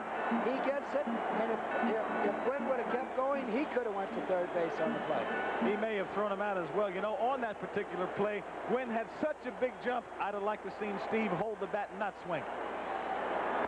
Nettles takes outside, and the count 1-0. There was no way that Jody Davis is going to throw Tony Gwynn at that time. He had a four or five step, step jump before the ball got to the catcher. Action in both bullpens. Frazier up for the Cubs. Gossage up for the Padres. I agree with you on the last play, Reggie, but how quick can you think of Base hit, left center field. That will score Gwynn. Nettles around first. He'll hold right there. It is 4 to 1 San Diego. Here comes Jim Frey. Frey making his way to the mound. Frazier has been up for the second inning in a row, and right now, let's go down to our colleague, Tim McCarver. All right, Don Drysdale, as you can see, George Frazier is the pitcher. Coming into this series, the only problem that the Cubs had was their inability to bring in a left-handed reliever when he got into trouble, when the starter got into trouble. And now, of course, Graig Nettles and Terry Kennedy are the two left-handed hitters to the problem. We'll be back with more in the sixth inning here. Padres up. This is Mr. Goodwrench. Did you know the spark plugs in your GM car are Drift, but uh, he's got a good breaking ball, a real good sinker, and a good hard fastball. He's got all good stuff, but he's always behind 2 and 0, it seems like. Nettles at first, and with that RBI, he ties our colleague. That is fouled away. Career RBIs in League Championship Series. That was RBI number 18. Ties him with the man to my right, Mr. Reggie Jackson. I tip my cap to him. Congratulations, Graig Nettles. There you see Nettles, Jackson, Garvey, Cey Bretton Matthews. Pretty good hitters in that group. I'll say that. Two balls and a strike. Went after a bad pitch, and it's two and two. Four to one, the Padres on top. And they don't look flat anymore, not when that ball's sailing into the outfield. We get the report that Dick Williams indeed was exactly what you were talking about, Earl. He wanted Frey ejected from the ball game. There's a shot. Ball can't get it. Dernier up in a hurry. Nettles will stop at second base, and Kennedy's aboard with his second base hit of the night. And it'll bring on Kevin McReynolds. San Diego Ball Club was just too good to life left for that long a time and not bust loose before it was over. Well, it's just funny that you look them over in Chicago, they lose a ball game 13 to nothing, they lose another one 4 to 2, and really, when they lost the game 4 to 2, it looked like they lost it 9 to 2, they lost it so so one-sided. But now all of a sudden, 24 hours later, maybe even a little less time than 24 hours, they are now a team that has got a lot of fire. They're rolling high, they're riding high. The fans are behind them, and it looks like a whole different ball club. 58,346, the largest crowd ever for Major League Baseball here at Jack Murphy Stadium. And that is a packed house. And you could see the determination on the San Diego players' faces before the ball game on the field. Here's McReynolds, one for two tonight with a run scored. So Nettles at second and Kennedy at first. Not a lot of speed on the bases. Breaking pitch down and away. But indeed, as you look at Dick Williams, you just take your hats off to the fans around the country. And of course, in Chicago, the Cub fans, and here in San Diego, it's hard for them to realize at time, Reggie and Earl, how much they mean to a major league ball club and a player out there in a pennant race. If you play baseball for a long time, I think you realize what fans mean, especially when you know that they can get your adrenaline going. We take a look at this pitch from George Frazier. It is a breaking ball, and it is outside. The 1-1 pitch. That's outside, and it's 2 and 1. It's a good breaking ball, but it doesn't go over the heart of that plate anymore. Frazier has a type of fastballs. You look at Nettles at second, and Kennedy over at first. Jack Kroll telling him something, the first base coach. His fastball moves all over the plate. It'll sink one time, sail another time. He has really got a lively arm. It's a good situation to hit in right here. Two balls, one strike. The pitcher struggling. Got to look for a fastball and whale. Foul right side. That is what a manager does not like to see when a hitter's ahead on the count two and one. Come on, come on. You're a pitcher and you're a manager. That's what the hitter wants to see. Two balls and a strike. Sit back and wait. Yeah, but don't shake it. Well, I'd like to say this. One of the reasons that Sutcliffe is 16 and 1 is you, you're not going to get the fastball with him at two balls and one strike. That's right. I think there's a pattern in the American League I know that I have found my 17 years I've played in the league is that the successful pitchers are able to get any pitch that they can throw over at any particular time in the count. Curveball, fastball, slider, changeup, they can throw it any time in the count and get it over the plate. And that's why the great ones are successful. Carmelo Martinez on deck. The 2-2 pitch to McReynolds. Deep to left. Matthews going back to the wall of the warning track. Jumps! It's gone! Home run, Kevin McReynolds, and the Padres have broken it open. 7 to 1.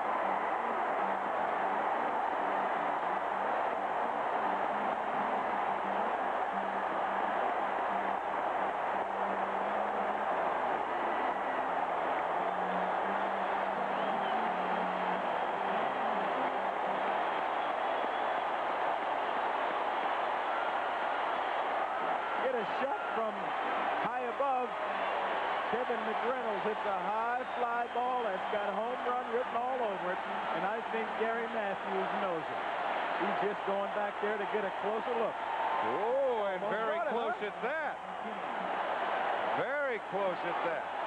I saw that smirk on Kevin McReynolds' face when he crossed the plate like, gee, I don't know. Almost, but no cigar, and it's three big runs. There's the young man. So 7 to 1, the Padres on top. And here's Martinez. He takes outside. I'll tell you what, I don't think McReynolds got all of that ball. He got that up towards the trademark a little, and I think that tells you a little of his strength. I don't know if Frazier wanted to throw the pitch there, but it was in on him a little bit. It was by the trademark. Now, I've always felt that for a guy to hit more than 20 home runs in the major leagues, that he had to be able to miss the ball and hit the ball out of the ballpark. Exactly, as we witnessed right there. Shot to center. Dernier is there. Retreats, makes the catch. And right now, let's go back down to Tim McCarver. All right, Don, we have Jackie McReynolds with us. Kevin, of course, with a big three-run home run. That may have put this game out of reach. What do you think, Jackie? I think it's great. I'm so excited. Yay! Now let's go back up to the booth to Don Drysdale.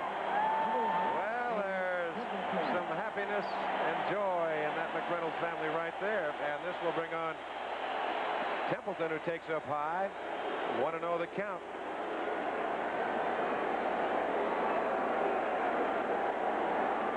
And Templeton, if everything stays the same, will have the game-winning RBI in this game. Takes the breaking pitch for the strike. Well, I'll tell you, that double that Templeton hit in the sixth inning, it looked like a deer out there in center field. And Bobby Dernier, when he cut across trying to cut that ball off, he really can scoop. Well, that was the play that turned him around offensively. It got action on the bases. It got people running all over the place, and it created excitement here in San Diego Stadium with the fans and on the bench. It Had all kinds of people moving, moving at the same time. You'd be surprised what that does for a ball club. Also, probably will create a fourth game. High chopper and Sandberg will go on to Durham, and that will do it. Almost pulled him off the bag. But the Padres come up with four big runs on four hits. No errors, and they leave nobody. We're through six complete from San Diego. The Padres lead it 7 to 1. Ponce will lead it off. Takes a strike. Cey one for two has driven in the only Cub run in the second inning. Seven to one, the Padres on top. Bounce foul by Don Zimmer.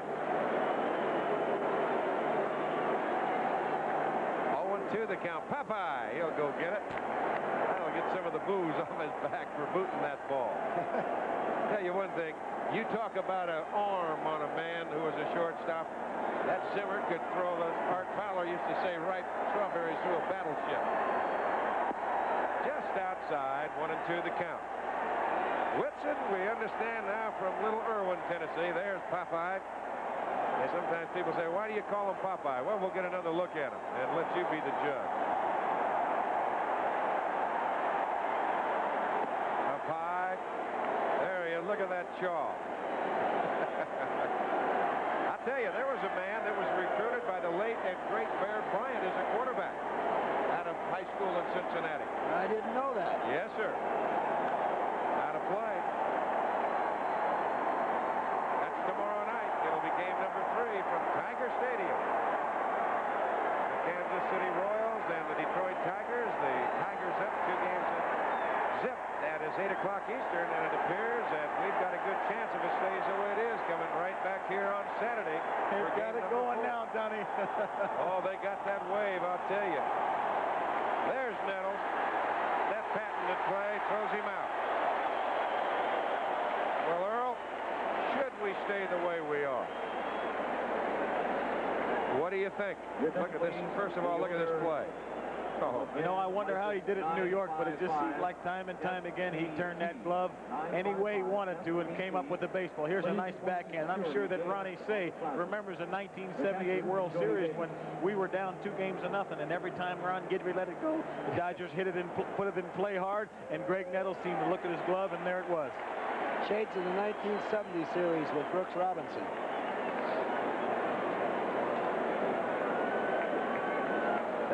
Still very deep at third. Davis with a high fly ball and Templeton going out and calling in front of Martinez. Two gone and that was way up in the air. And a reminder that the National League Championship Series and ABC Sports Exclusive is being brought to you by Old Milwaukee and Old Milwaukee Light. It doesn't get any better than this. But Earl, I was talking about what about there's a pitching decision to be made now. If they go to game four, should the game stay like it is? Well, we have an off day tomorrow, and Jim Frey's thinking about who might be starting Saturday as we get a ground ball to second base, the throw to first, and we'll talk about that pitching change later on. And we will now go to the bottom of the seventh inning. It is seven to one. The Padres on top. We'll be back with more baseball after this word from our local station. We had some great pictures yesterday in Chicago and some great ones again here tonight in San Diego. As Ed Whitson stands in 0 for 2. One thing, that man from Tennessee doesn't get cheated, does he? He's trying to join the party, isn't he? He's from a little town called Erwin, Tennessee. That's 40 minutes from the Smoky Mountains. And the only way to get out of Erwin, you've got to go over the mountains. Outside, one and one the count. Must be the only way to get in, too. That's about it. There's Eric Show. Now that might tell you something right there. What would that think about there, right there, Earl? Definitely does. It looks like he's got the fourth game for San Diego. There's an off day, and it allows the managers, if they so desire, to bring that first game pitcher back with three days rest. I think I know what he's going to do. He's going to come back with Show. gonna That come was Dick. Williams we looked That's at. right. He only went four innings in that first game, so he will have plenty of rest. There's Frey, and he, there's Frey. He was non-committal before the game. He didn't want to talk about a fourth game, but after the game, he's going to have to make a decision too. Will it be Sutcliffe or will it be Scott Sanderson? So Whitson down on strikes, and the Padres will go to the top of the order. Well, I'll tell you what it did for Dick Williams, too, that home run by that young man right there, Kevin McReynolds. He set the big goose down in a hurry. He didn't have to bring him in with that 7 to one lead. Well, he's got an off day tomorrow. I don't think he'd mind pitching Goose uh, tonight. I don't think he'd mind pitching him uh, No. Saturday and Sunday. He'd No. go with him. If Oh, what got I meant is in the 4 to 1 ball game, and now you break it open and get three more in that respect. I almost just wonder, though, Don, whether you'd like to see Goose Gossage get a little work in if you're Dick Williams. If you might maybe get an inning. You're right. One ball and one strike to count. One out, nobody on. 7-11 and 0 for the Padres. 1-4 and 0. There's the goose for the Cubs. I just think it's exciting to see Goose. I just want to see him in there. There's a one-hopper Sandberg. Nice easy play to throw him out. Boy, that young man is talented. He made that play look easy, and the ball was hit hard. If he tries to field it under any other way than the way he fielded it, he would have had trouble on a short hop. We get to see it again from high above third base. Ball hit well, one hop. Now, if he charges that ball or tries to break to first base on, he's going to get it on a short hop. He just drifted back, took it easily on a high hop, and threw the man out at first base. Tony Gwynn takes a strike, and the count is 0-1. Gwynn three for three tonight, a double, two singles, and a run scored. Gwynn has hit six balls in the series to the left side, and then he's moved a couple to the right side tonight. And he's hit, he's been up to the plate 11 times, and he's hit the ball hard about seven or eight of those times. He has hit the ball on the button. Well, we've said before, and you've commented too, Reggie, when you hit 351, you're going to have to hit the ball hard somewhere. And he has, leading all the major leagues in hitting this year, the National League batting champion. Breaking pitch inside, two and one the count. The big thing that I like about Tony Gwynn, and I think for all good young hitters, is to think, put the ball in play hard. Don't try to put it out of play. Foul away, the count goes even at two and two. Don't tell me you didn't try to put some out of play. Well, that's why I swung and missed 2,000 times. I've got over 2,000 strikeouts, so now if you don't want to strike out as much as Reggie Jackson, swing to put it in play and let it go out of play as he fouls that ball down and hits him right below the belly button, below the belt buckle. Two and two the count.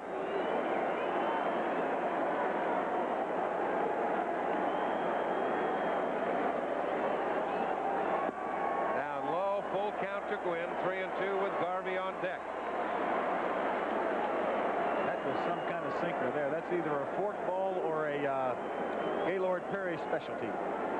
Well, one of those old country fork balls. You got to get on top and turn it over hard. That's all. A pitcher will protect the pitcher. the old Staten Island sinker went back to Milwaukee. Your man. Yes, he Earl. is. There's one thing you can count on, that the Milwaukee pitching staff will have less base-on balls this year than they had last year, because George Bamberger hates the base-on balls. I think all managers do. I know John McNamara wanted to jump off a bridge sometime or jump off the end of the dugout when pitchers would walk out. Managers just do not like free passes. Full count, three and two. To Durham. He's there. And that'll do it. So the Padres are gone one, two, three in the seventh inning. We're through seven from San Diego in game number three. The Padres seven and the Cubs. And he can run. He's got great speed. Well, you see those numbers, left-handers and right-handers. As Whitson starts inning number eight. This is outside, and the count 1 0. You can see Kennedy saying, Come on, get that arm up now. Don't get out here and get flopped on me. Outstanding job by Ed Whitson as we look at him. One and one. That's the great thing about baseball, the great thing about sports is gives people an opportunity to grow up and make something of themselves. Ed Whitson from a family of eight, five brothers and three sisters. Two balls and a strike to count. He worked on a job before he got into baseball, making $81 every two weeks. Two and two to count. Well, I got paid less that in the minor leagues for a month. Earl, We're going back a few years. what'd you hit in the bet minor leagues? Oh, I hit well. here we go again. I can hear Palmer with that one. Tomorrow Got night. paid well in the minor leagues. That's a five, and once again, Kennedy reminds Whitson, come on, get that arm up there. Full count, three and two to Bosley with the leadoff hitter, Bobby Dernier on deck. Seven to one, the Padres on top. Struck him out looking. I thought it was. It looks like a good pitch to me. Get to see it one more time. Just a fastball on the inside half of the plate. Oh, did you see it come back Yes, and sir. grab that corner? He hit the mitt. I can understand why Bosley thought it might be a ball. He took his eye off it. A times that ball will run back out over the plate on you. And you'll want to complain. It'll make you argue, pal. Now there's one gone, and that'll bring on Bob Dernier. He's walked, line to short, and he's bounced to second. Takes a strike. Looks to me like Whitson wants a complete game.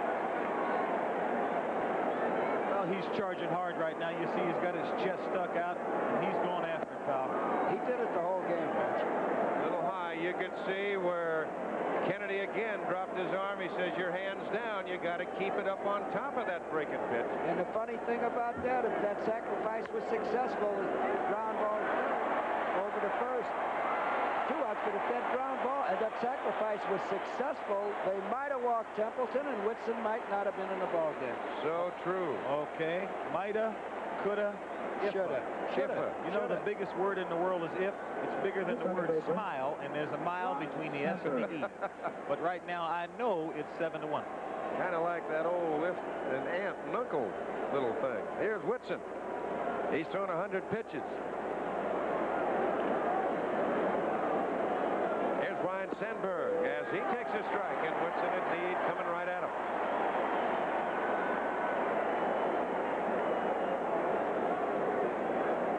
Fifty-eight thousand three hundred forty-six here in San Diego tonight, an all-time record.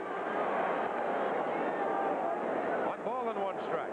Should be the same thing Saturday night. Yes, sir. Be a little more. I bet you for some reason there'll be another couple hundred. A little high. Two and one to count.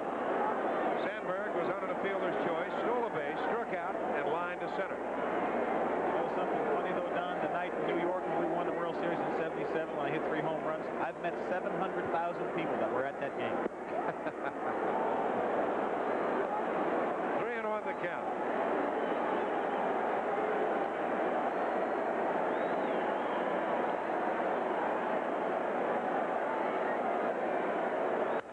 Hard down the line. That'll be into the corner. Extra bases into the bullpen. As Martinez chases it down, the double by Sandberg. And I mean, he got that top hand up on that. Not to take anything away from him, but that was a 7 to 1, 3 1 hit me fastball. I don't want to walk you. Get to see it right there. Fastball right above the belt. Right down there over the middle of the plate, and he just leans right on it. Well, that's what a pitcher should do with a 7 to 1 lead. Oh, yeah. Do not True. want to walk anybody. Not at all. That ball hit hard. Number 36. Again, a big Gary advantage when you're the Padres right now, and you're Ed Whitson. You know you've got a seven-run lead. You know you've only got a couple innings to play, and you know you've got the big man down in the bullpen ready to bail you out whenever you need him. Yes, sir. There might have been a little ding-a-ling down in that pen because there's a little stirring around as Matthews doesn't get the breaking pitch. And indeed, somebody's throwing a firecracker down on that Padre pen as they stir. Six-run lead, not seven.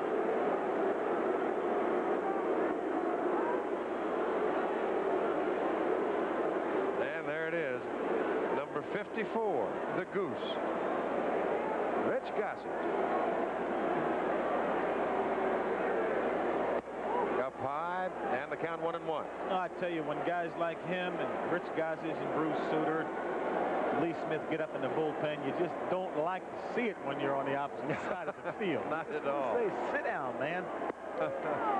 And I'll tell you one thing, since he has gotten up, if he gets loose, we might see him next inning.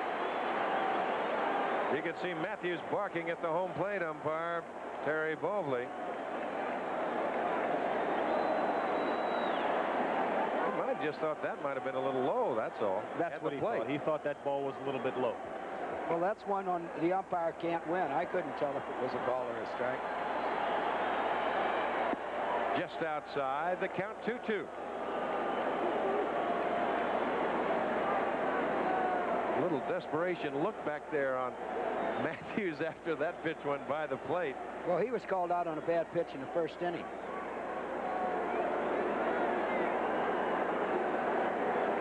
Check swing, look out. Foul over that Padre dugout. We'll shake him around.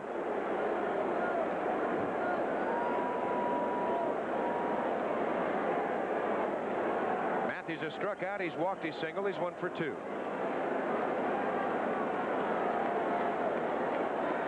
2-2 pitch to Matthews. High chopper. Templeton right there. On to Garvey. And that'll do it. The Cubs are gone in the eighth. No runs on a hit. No errors. They leave a man. We go to the bottom of the eighth inning. And the Padres lead the Cubs 7 to 1. All right, Timmy, thank you very much. As Gossage will continue to get loose to come in and pitch the ninth, the Cubs have made a pitching change. The big right-hander Tim Stoddard comes on. So Stoddard will face Garvey, Nettles, and Kennedy in that order. Interesting stat on tonight's game. The Padres have left only one man on base tonight. They left 14 on in the first two games. The Cubs have left five men on tonight. They left 14 on in the first two games. Hmm. Garvey 0 for 3. Fouled out to first, hit into a double play, and bounced to second. With one man left on base, they're doing what Reggie talked about in the pregame show, and that's getting the job done. Yes, they are. They've got the offense working tonight. Somebody had gone around and slapped people on the back, and it's working. There are people stepping to the front tonight. Well, it's always interesting to me to see you get the last 10, 15 seconds in a ball game and the score is tied in a basketball game, and some guys just are never near the ball. In baseball, it's the same way. Some players just don't want to take charge. The Padres have certainly stepped up and done that tonight. There's a strike one and two. The count. Garvey's not happy with that call. Wasn't a good call.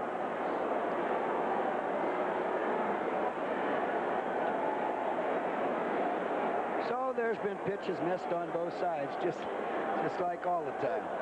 Down and off the shin guards of Davis. Over in a hurry. Throws him out. And a reminder that there will be exciting CFA football on ABC. That'll continue this Saturday with the top 10 powers colliding. You'll see either the Nebraska Cornhuskers facing the unbeaten 4-0 Oklahoma State Cowboys or a battle of the SEC rivals Georgia and Alabama. And a week from this Saturday, the number one ranked Texas Longhorns battle the number three Oklahoma Sooners. And the games, of course, will be seen right here live on ABC, 3.30 Eastern Time as Nettle stands in. That is to the right side, and Durham will give it to Stoddard, and that will do it. So there's two gone. And a reminder, too, that the way it's going right now, that we'll be back right here at San Diego on Saturday night. And that'll be at 8 Eastern Time, Game 4, the National League Championship Series. And don't forget, tomorrow night, while the National League takes a day off, the American League will resume again at Tiger Stadium in Detroit. The Royals trying to get on the board themselves. The Tigers two games to zip in their third game of their series as Kennedy fouls it away.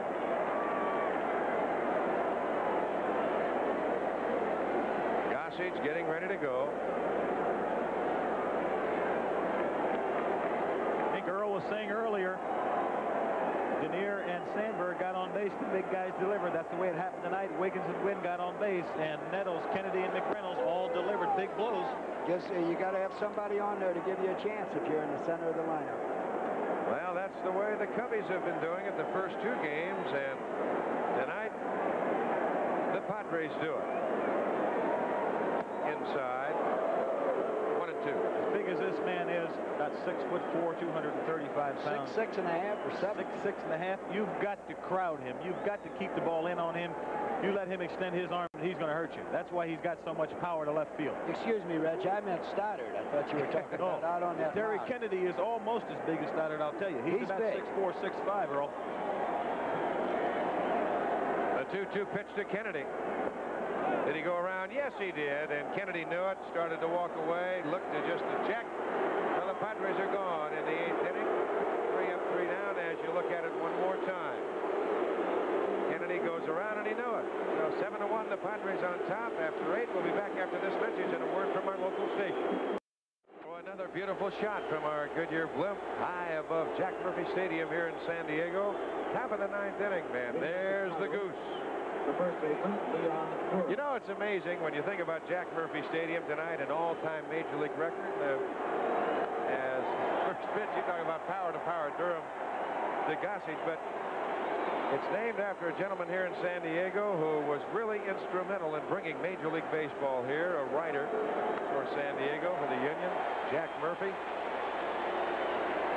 And I'll tell you, he's gone right now, but he would love to have seen this day. This is a great sight, I'll tell you. And Durham quickly down one, two, three. And that was the breaking ball from Goose Gossage. When a man throws 97 to 100 miles an hour, and all of a sudden he throws you a breaking ball, you might as well just save your swing and energy because you're not going to hit it. We 'cause you're see it right here. for the hard one. Down and in exactly where it's supposed to be. The pitch before was 92 miles an hour, but that's still hard enough Let to me get tell you you looking fastball. Well, one of the reasons he's in the ball game tonight, this is the only inning he's pitched in seven days, so he needs the work.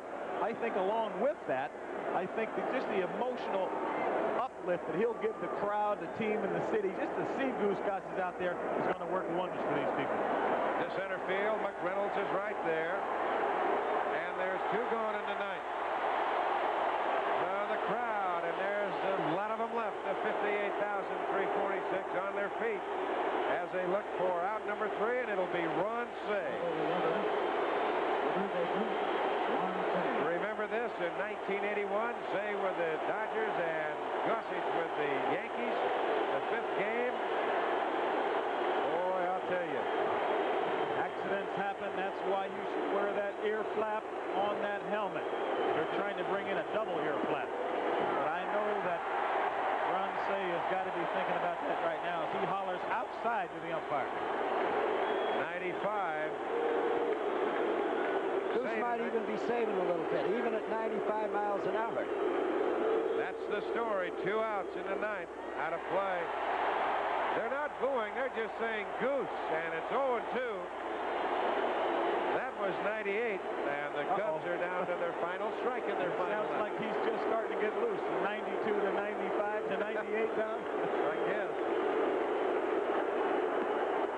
Outside. One and two. You think that isn't a menacing sight to see that big guy coming at you, legs, arms, and 90. Foot three, 230 pounds, and he's all over the place, actually. Look Oh, out. my. Curveball. That hangs inside. How'd like to be hitting right now? No. Look at this pitch. There's no purpose here. He's just throwing the ball as hard as he can right now. Like you to take notice. If he's throwing him a breaking ball right now, you've got to wait that much longer if you're a hitter. That's why the guys that throw this hard, you've almost got to give them their breaking ball and do nothing but look for the fastball. Because if you're looking for a curveball, he throws a fastball inside, you're hit. There's no question about that. and Ron Cey had a good swing at that next pitch. Well, that's why Cey, the professional that he is. That will get him. Retires the side as the Padres get on the board in the championship series. Gossage comes in and strikes out two out of the three. One, two, three. The Cubs are gone in the ninth inning. There's a happy dugout right there. Dick Williams has got another reprieve.